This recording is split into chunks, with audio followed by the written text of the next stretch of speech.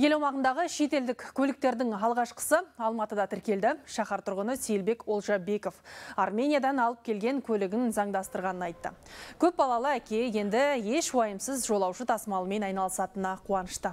Бұдан бұрын хабарлағанымыздай, бүгін сырттан әкелінген көліктерді заңдастыру басталды. Талапқа сай келетіндер ғана тіркелет, Олар шетелде есепте тұрған жеңіл көліктер, орта сыйымдылықтағы автобустар, шағын жүк көліктер мен басқаруы оң жақтағы автокөліктер. Әрі елге 2022 жылдың бірінші қыркүйегіне дейін әкелінуі тиіс. Криминалдық есепте тұрмау керек. Бұрын тіркелген жерінен есептен шығарылуы қажет. Еуразиялық экономикалық одаққа кірмейтін елден әкелінген автокөлік кедендік тазартудан өтуі шарт.